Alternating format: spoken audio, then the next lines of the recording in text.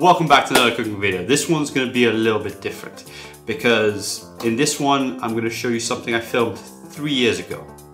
Basically what happened was I was filming a lot of stuff at the same time. There was an error. I, I was gonna come back to it, but then I moved on to another project.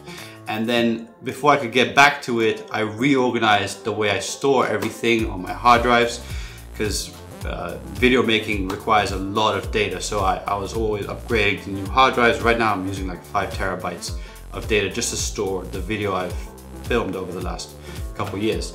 Anyway, uh, long story short, I found this video I filmed like three years ago in my old kitchen just recently and I was like, I need to finish this. So I got to it, I finished it, now you can watch it. Uh, you just need to look at the video from last week to be able to make the tomato water. Basically, it's just uh, put tomatoes in a blender, add salt, and uh, strain it. But uh, yeah, I just put that in the other video. If you haven't seen that, check it out in the link in the description below or in the top right corner of the screen right now. With that said, let's get straight into it. Let's get cooking. Let's do this.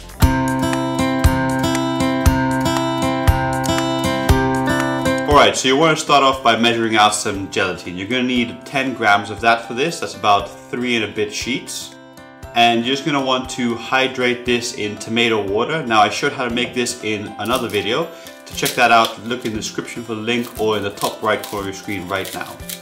And basically you're just going to take your gelatin, throw it in there and let it bloom inside the tomato water.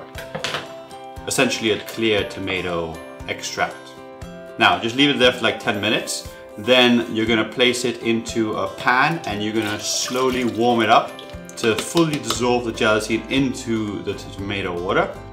And for that, just stir until you see no more gelatin and then it's done. It shouldn't have to reach boiling temperature. You should uh, melt the gelatin way before that.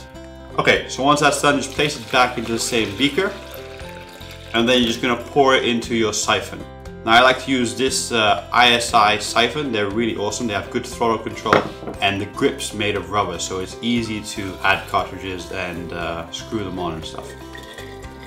Okay, so just pour it in and then you're going to want to close it and you're going to want to place it into the fridge for at least two hours to set and you can leave it in there for one, one and a half days easily.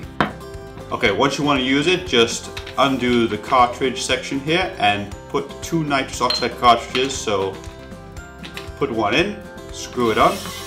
Like I said, the rubber grip makes this really, really easy. I'll put a link in the description to this uh, siphon system. They're really awesome. And pop the second cartridge in. There we go. And now we're ready to go. Before you do it, shake it vigorously because it's set inside into a light gel.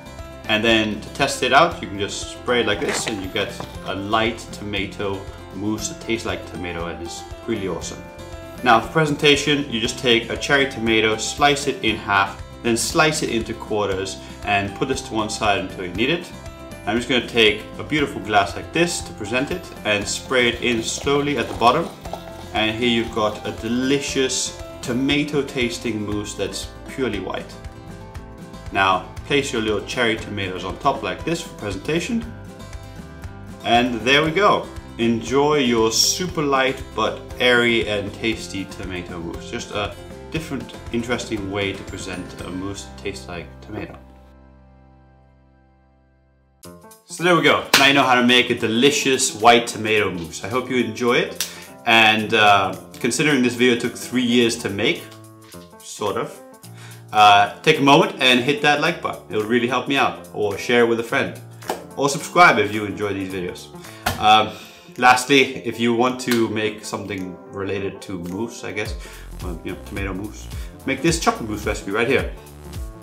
Thanks for watching. See you in the next one. Goodbye.